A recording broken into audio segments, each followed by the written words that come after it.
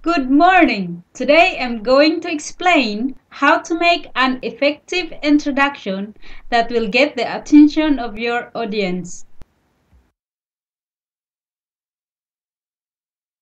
It is important to begin your presentation with a polite, warm greeting.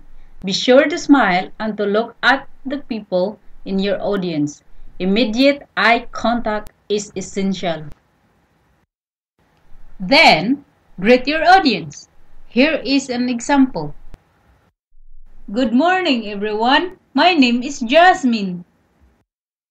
Next, you need to give a brief statement of the topic. Here are two examples. Example 1.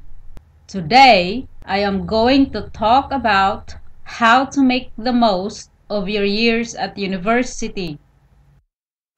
Example 2. In my presentation today, I will be discussing ways to make the most of your years at university. Sounds simple so far, right? Now comes the hard part. You need to hook your audience, that is, get their attention. You are not in high school anymore. You are a university student. Things are different. Exciting? Yes. Scary? Maybe.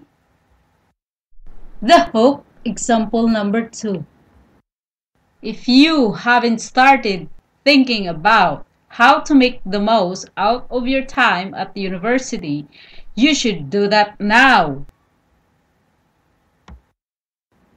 The next part of the introduction is the presentation preview.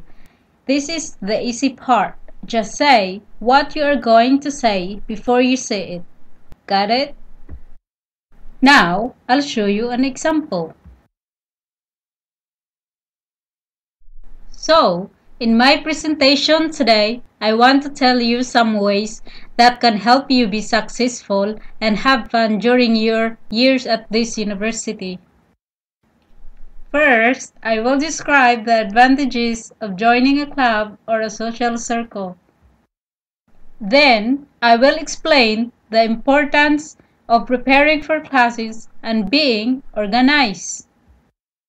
Finally, I will share with you some tips for avoiding stress during the semesters.